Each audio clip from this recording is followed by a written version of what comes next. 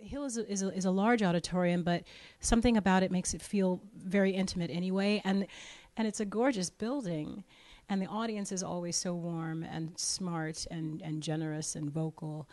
Um, and so it's it's kind of like a, a, homecoming for me whenever I come here.